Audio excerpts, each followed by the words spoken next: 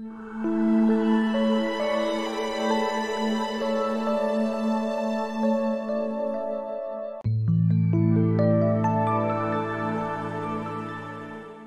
guys. Good morning. It's another day of relax and paint, and I'm so excited to be working with you. I am doing something for the holidays. I'm using a Dollar Tree plate.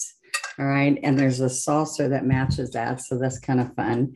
And what I wanted to share with you is we have lots of good things happening and you got to watch to the end so you get all the tricks tips and tricks that we're going to have and uh, all kinds of plates that i picked up this year um, to share little um, tips to make painting easy on glass and these are great to put on an easel and decorate for the holidays. So let's get started. Thank you very much.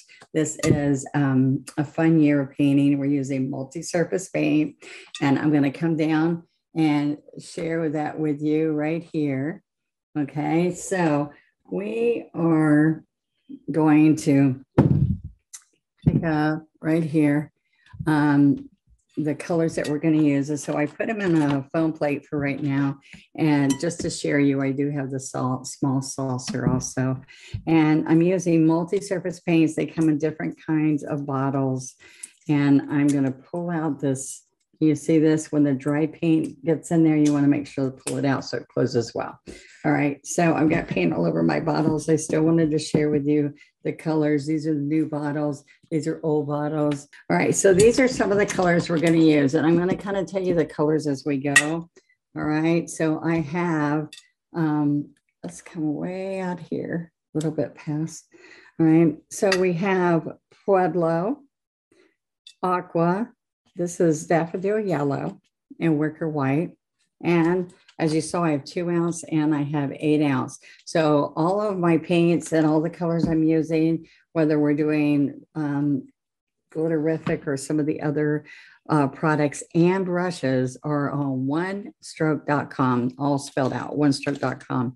I'm going to use the citrus and sap greens, burnt umber, and Wicker White. Now, I don't need floating medium. You'll see me using floating medium on almost everything but not on glass, metal, um, any non-porous surface, you don't want medium on it, okay? So I am gonna start with a three quarter inch brush, but I also am gonna show you with a 16 flat, um, or you can use my signature brushes, which are lavender.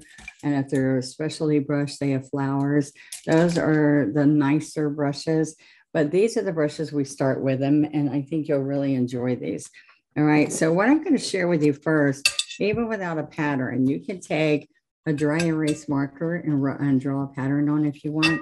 But I want you to see that I'm going to pick up, I dampen the brush and I lay it on the paper towel to get the excess moisture out. And then I come here with double loading right in the middle and I work the paint all up the brush, more paint than you usually can imagine.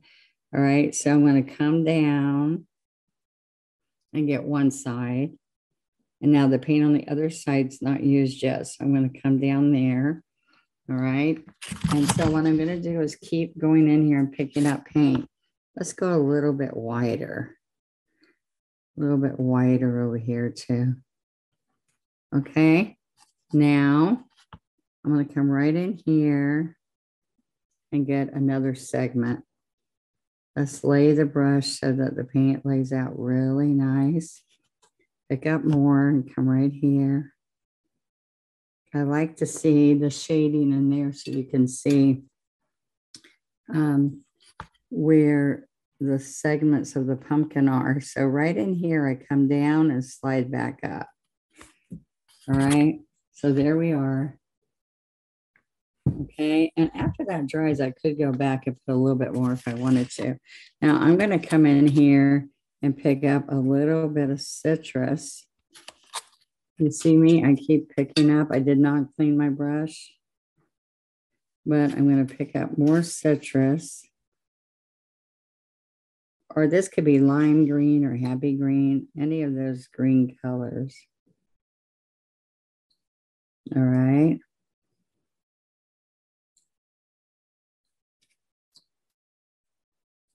right and right here. I do a small one in here. Okay. So on this one, well, that's just drying just a little bit. I'm going to wash this brush out, lay it on the paper towel, and I'm going to come in here and I'm just going to pick up a little bit of white and then pick up aqua because I want to show you like a ghost pumpkin, some lighter colored pumpkins. All right, so I'm gonna clean this off. And you know what? I just used the wrong brush. This needs to be a smaller brush, the 16 brush. So the 16 brush should be easier for you. And then we come right in here.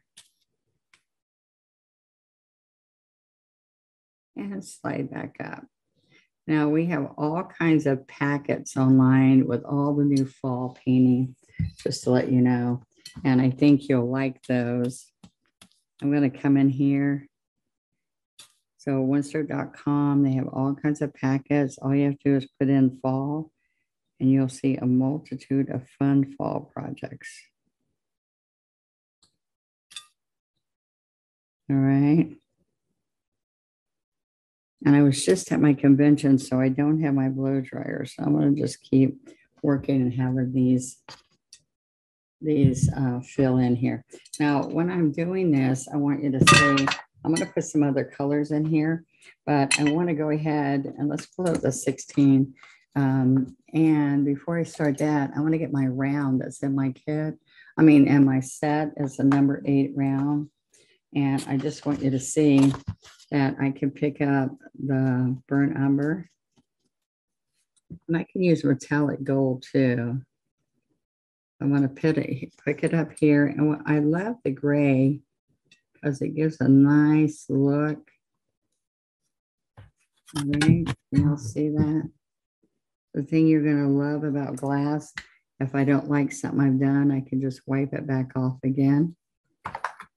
Okay, just take a wet brush and wipe that off. So let's get a liner here. Let's get a two script liner and we can come right in here and we're going to curl that. You see, there we go. And we're going to come right in here So all I did was roll this in the paint. This brush. Okay. So if I want to get some of that, let's let's lay this under here so you don't see that shiny. Isn't that good? Okay, so we're going to come right here.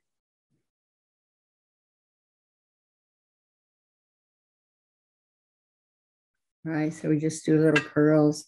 And this one, actually, I can come in here.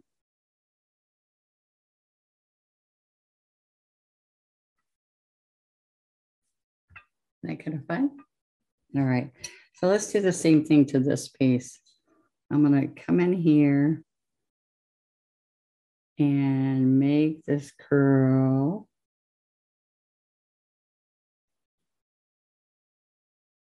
There we go. All right, so I don't like that this came to a point here. I can clean it up. Now, what I'd love for you to do is go join our Facebook group. It's Donna on the Road. No, excuse me, telling you my email. Sorry. I am Donna Dewberry's with an S official One Stroke Group on Facebook. Okay, so come join us. We have lots of fun. I'm going to show you this is a 16 flat. I wet it, put it on a paper towel, and then I'm coming in between. This is thicket. I said sap. It's thicket and um, citrus green. All right. Actually, this one says happy green, just as a teeny bit brighter, but either one will work. Okay, so I'm going to come here and make a little wiggle. I'm just going to go a little bit closer. Come right here. And see if you have the light edge on the outside, look how pretty that looks against the gray.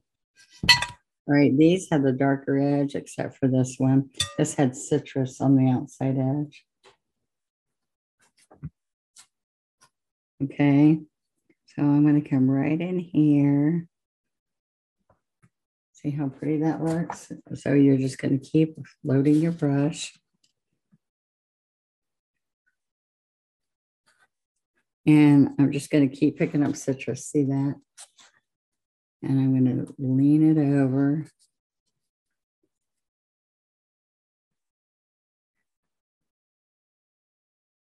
I do lots of gnome, where you put the gnome um, sitting on pumpkins. I have a, a garden cart, like a wheelbarrow, with gnomes sitting on it for the fall. A bunch of you ordered the Believe in Me patterns for the fall um, that I did on here with the honey and with the beehive. And I have a cute one I'm going to be doing looking soon, guys, for a gnome pulling a wagon with a cupcake in it. All right. Lots of fun. All right. So see how that bright and pops out. Now what I'm going to do, I'm going to pick up a teeny bit of white on this citrus edge. And then I can come in here and roll this over and stand up. Oops, I came off. So I dipped a little bit of white and then I went over to the citrus, thicket and citrus. Okay, so I'm going to come all up here and see it's wet paint, wet on wet. Okay, and then I'm just going to pull in here. Okay, so I am going to, I do have the 16.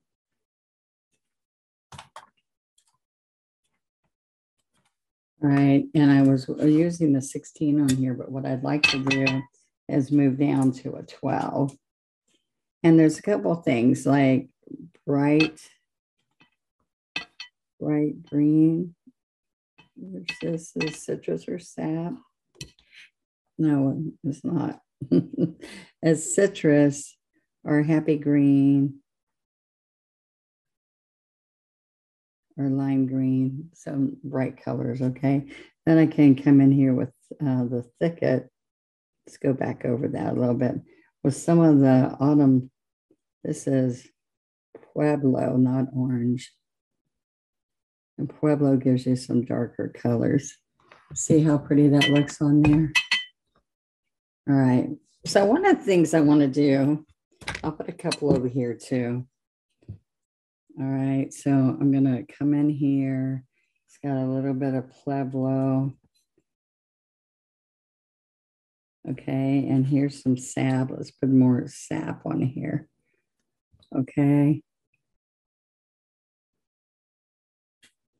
Let's come up here. All right. So that's just a little dull, dull, but it is the fall colors, right? There's a couple things you can do. You can come down here like the sitting in the hay. And you can go slip slap a little bit along here.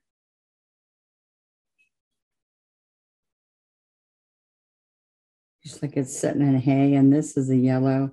Could add just a teeny bit of the brown in here. And just with a chisel, go slip, slap, slip, slap, okay? And I can bring in some brown because that brings it up. All right, so I'm gonna let this dry just for a little bit, but I want to show you a couple of things that makes this look really good. All right, so what I'm doing on here is it's not totally dry, but what I want to do is grab some aqua and just some of those colors up and back down. Okay. Right now I did put a little bit of yellow. But what's kind of fun is I can wipe some of that off and just grab a teeny bit of white. So see, we're just laying the brush down. Put a little bit of highlight. All right. So I usually do that before I put the leaves, but I was just playing around. Okay, see that a little bit. Now, since I put some of those colors in there, I can come in here and reinforce the Pueblo in a couple of places. All right, just so I can get a little bit of that abstract. Then I can come in here and just put a little bit under here. Okay, and then when we come to this side, I can add some of the Pueblo. All right, but I can also come in here with some burnt umber. Now, what I do is I do multiples. So I would sit this down and as is, I would just do, like you saw me do, I would just do the pumpkins. I would do the orange pumpkin and do three or four with the orange pumpkin. This is how, if you're going to sell them at the craft fairs, or if you've got a lot of gifts to do for family, uh, or if you want a table setting and you put a glass clear plate on this so that you can eat on top of it. In the glass plate, Dollar Tree is a glass, clear glass ones that you can put right on top of this. And this should just be a little bit of decor.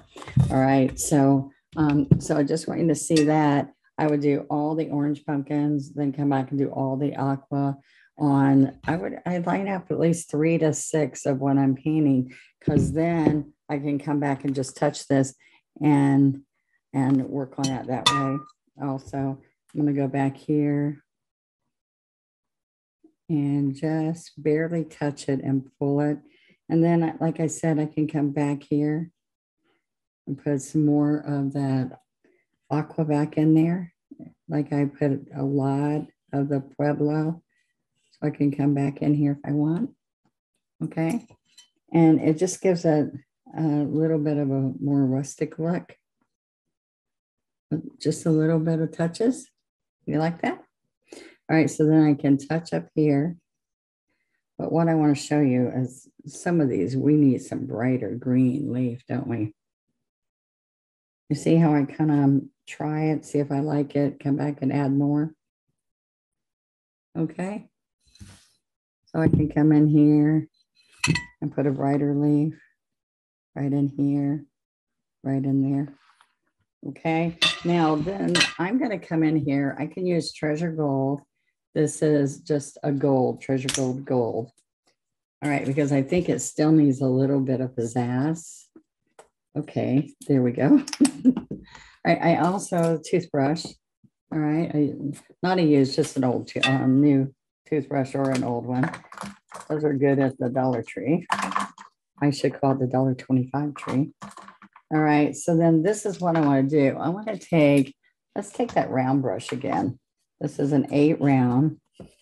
And this one I'm going to do, I want to pat this down a little bit and work it into this brush. And it had a little bit of um, water in it. So I should probably lay it, let the water absorb out of it. But see, I'm going to come in here with this treasure gold and come up and around. Can you see that gold? There we go. See? I'm holding my little finger. Okay. And bring this around here. Put it around there. You don't have to follow the whole thing just little touches of gold, right? And we could curl this a little bit, this a little bit. All right, so see the gold. All right, and I can pull a little bit up here. Just lay it down flat and add a few accents here and there. Okay. Now I do like to just come in here with a comma stroke. Just a little bit.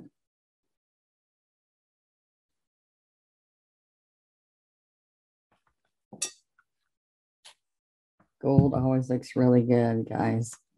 And then I put this hay down here so I can do a couple of these strokes on the sides. See, a little bit down in here. I put out a lot of gold not to use much. All right, so then this is what I want you to see. I'm going to put a little bit in the stem. And we're just loosely putting it on there. We're not trying to make it really gorgeous and smooth. If, if so, I would use a liner. Okay, now this one I want to do. I'm going to take the toothbrush. I'm going to wet it a little bit in the water. I'm going to go into the treasure gold, treasure gold gold, right? So see how it's in there? And then I can practice it by just flicking it a little bit. Now watch. All right, I'm putting gold on here.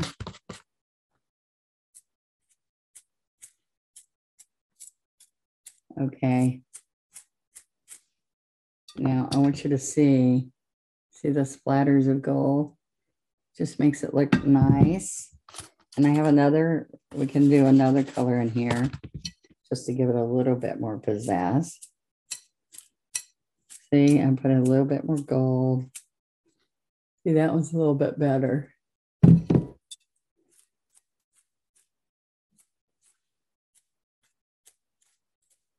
Okay. Now, I think one of the colors that was fun that I put in here, isn't this fun? Are you liking it? I'm going to show you that. I'm going to take some aqua and I'm just going to take, well, that's not showing. So let's take aqua and white. You see how I play with it? And then after I get it down pat, then I make a whole bunch of what I like. Oh, there we go. Oh, look at it. See how it splatters the aqua? All right. And that makes it really pretty. You could put the year on it or the family's name at the top. Or look at this. See, this one looks pretty just with the gold. But I'm going to put some pretty aqua around. Look. See, that just makes it. So we've taken this to a couple of different steps so that you can see how fun and easy. See the gold here? Please subscribe. I, it means a lot to me to have you guys subscribe and know when I'm going to be on. And if you ring the bell when you subscribe, it will just say, Hey, Donna's on with something new. And it helps me grow so I can be here more for you guys and create more of things that you can make money or save money or just flat out enjoy painting. All right. Good day. Hope you get to paint with me later today and accomplish something that you didn't ever think you could do. And see me on Friday for more, more, more. Fridays are practice strokes where you learn. And, you know, by the way, I have a club that I would like for you to join, and it's called the One Stroke Advantage. It gives you money off my website and everything. And come join me. I make it possible for you to do painting parties and make a good amount of money on it. And that is on One Stroke Advantage. Okay. See you later. Bye bye.